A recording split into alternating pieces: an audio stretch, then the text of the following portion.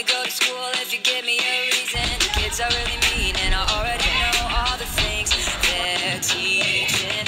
Hopped in the car, mama let him play hooky. Missed the first hour just to get a cup of coffee. She's the only one who saw who he was. No one else could read him. Showing up late, but he makes it to class just to stare out the window and the clock in the back. He daydreams away to a sky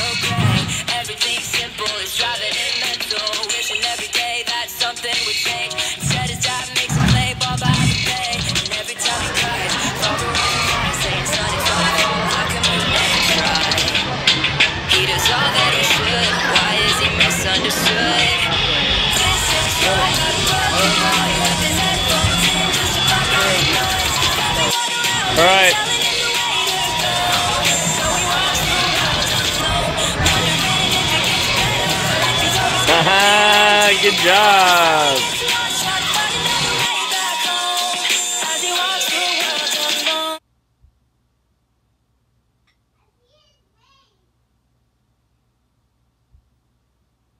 The world's changing.